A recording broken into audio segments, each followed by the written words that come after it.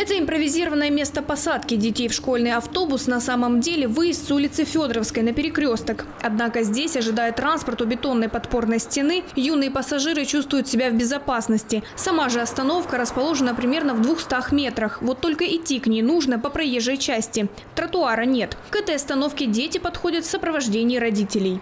Очень опасный перекресток. Постоянно боимся переходить через этот перекресток, потому что нету вообще ни, ни тротуара, ничего, практически на проезжей части. А вот деток сами э, не отпускаете сюда? Ну нет, конечно, нет. Боитесь? Ну, а Боюсь, почему- да, почему? боюсь. Ну, боюсь много всяких факторов, чего боюсь. Тоже в том же числе и машин боишься. Заместитель директора по безопасности школы номер 27, которая находится в Любимовке, рассказал, что жители неоднократно обращались к городским властям с просьбой обеспечить безопасность на перекрестке и оборудовать остановку общественного транспорта. Ежегодно у нас проходит обследование маршрута школьного автобуса. Э, Привлекаются сотрудники ГИБДД, привлекаются работники департамента развития, городского развития.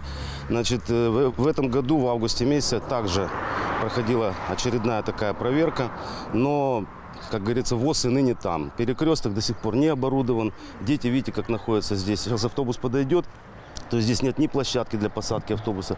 Э, На этом столбе нет освещения, потому что сейчас еще пока светло, а потом зимой будет темно, дети в темноте практически садятся в автобус. О том, что на Качинском шоссе по направлению в сторону Любимовки есть остановка, говорит лишь дорожный знак. Знаки пешеходного перехода тоже есть, но местные жители рассказывают, зачастую машины буквально вылетают из-за поворота на большой скорости и не успевают затормозить, чтобы пропустить пешеходов. На этом участке трассы нет знаков, ограничивающих скоростной режим. По словам местных жителей, за этот год на этом месте произошло 24 дорожно-транспортных происшествия.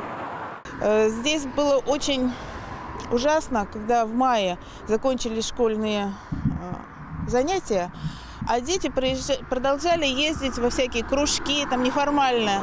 То есть гурьба детей идет по проезжей части, смеются, толкаются. Это дети. Мимо пролетают машины.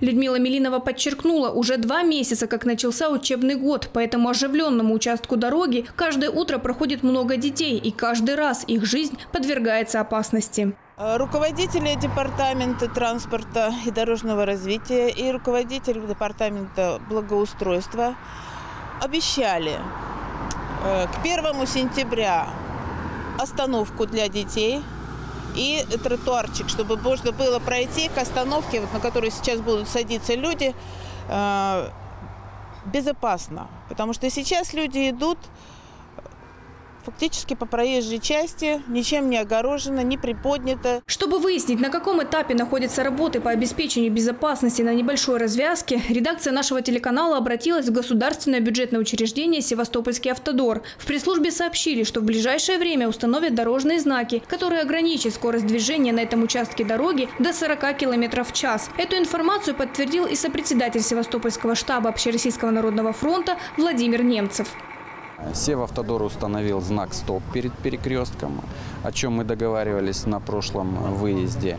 А, Что касается знаков, ограничивающих скорость движения, а, то на этой неделе Севавтодор обещал установить э, знаки 40. А, По освещению улицы Федоровской эм, э, мы э, общались с, с управлением благоустройства. Они рассказали, что проработали э, вопрос э, подключения освещения на столбах Севэнерго. Но вопрос финансирования, то есть э, вы же понимаете, это изменение в бюджет, Владимир Немцев добавил, что работы по подключению освещения запланированы на первый квартал 2019 года. Он подчеркнул, что представители Севастопольского штаба Общероссийского народного фронта будут способствовать тому, чтобы проблема решалась как можно быстрее. Редакция нашего телеканала направит запросы в Департамент городского хозяйства и Департамент транспорта, чтобы получить полную информацию о работе на этом объекте. Дарья Юхновская, Михаил Жучков, Севинформбюро.